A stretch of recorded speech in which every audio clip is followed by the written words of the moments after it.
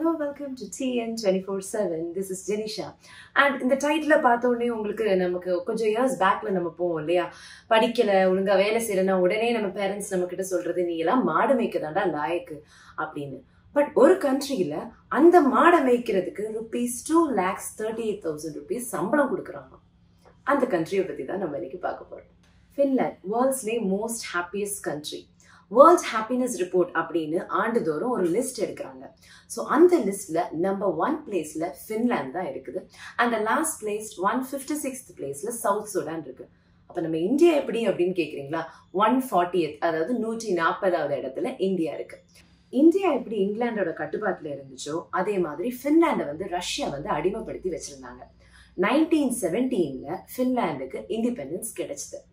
இந்தியாவில் நம்ம இப்போலாம் three year old even two year old கிட்ஸை வந்து அப்படியே ப்ளே ஸ்கூல் அப்படி இப்படின்னு அப்பவே ஸ்கூலுக்கு அனுப்ப ஆரம்பிச்சிடும் ஃபின்லாண்டில் செவன் இயர்ஸ் ஓல்டில் தான் ஸ்கூலுக்கு ஃபஸ்ட்டு போவாங்க. செவன் டு சிக்ஸ்டீன் அந்த ஒன்பது வருஷமும் காமன் பேசிக் எஜுகேஷன் அப்படின்னு ஒரு காமனான ஒரு எஜுகேஷன் தான் அங்கே கொடுக்குறாங்க which is compulsory for all the kids அதில் என்ட்ரன்ஸ் எக்ஸாம் கிடையாது கஷ்டமான எக்ஸாம்ஸ் கிடையாது ஹை ஃபீஸ் கிடையாது. அந்த மாதிரி எந்த ப்ரெஷருமே கிட்ஸுக்கு கிடையாது. You know what ninety five point five percent literacy rates தான் ஃபின்லாண்டில் இருக்குது அதாவது தொண்ணூற்றி ஐந்து புள்ளி ஐந்து சதவீதம் மக்கள் அங்கே கல்வி அறிவு படித்தவங்களா இருக்காங்க. ஆசம் ரைட் யா அதே மாதிரி இன்னொரு விஷயம் என்னன்னா நம்ம இந்தியாவில் ஸ்டேட் கவர்மெண்ட் சென்ட்ரல் கவர்மெண்ட் இவங்கெல்லாம் தான் எஜுகேஷனல் இன்ஸ்டிடியூஷன்ஸை அட்மினிஸ்ட்ரேட் பண்ணிட்டு இருக்காங்க. பட் இன் ஃபின்லேண்ட் முனிசிபாலிட்டிஸ் அந்த மாதிரி நம்மள மாதிரி இந்த மாதிரி செப்பரேட் கவர்மெண்ட்ஸ் இல்லாமல் முனிசிபாலிட்டிஸ் தான் ஒவ்வொரு எஜுகேஷன் ஒவ்வொரு ரீஜன்ஸோட முனிசிபாலிட்டிஸ் தான் எஜுகேஷன் ஸ்கூல்ஸ் டு காலேஜஸை வந்து அட்மினிஸ்ட்ரேட் பண்ணிட்டு இருக்காங்க. இப்போ நம்ம நம்ம குழந்தைய ஸ்கூலில் ஜாயின் பண்ண வைக்கணும்னா அட்மிஷன் டைமில் டஃப்பான என்ட்ரன்ஸ் எக்ஸாம்ஸ் வைக்கிறாங்க. பேரண்ட்ஸ்க்கு இன்டர்வியூ இருக்கு. பேரண்ட்ஸ்கிட்டே உங்களுக்கு இங்கிலீஷ்லாம் பேச தெரியுமான்னு பயங்கர செக்கிங் எல்லாம் நடக்குது இல்லையா?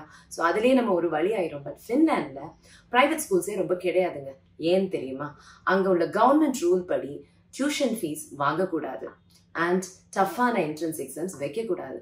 இப்படியெல்லாம் இருக்கிறதுனால ரொம்ப பிரைவேட் ஸ்கூல்ஸும் அங்க கிடையாது. இன்னொரு இம்பார்ட்டன்டான விஷயம் என்னன்னா ஃபின்லாண்ட்ல லஞ்சம் ஊழல் இதெல்லாம் சுத்தமா கிடையாதுங்க.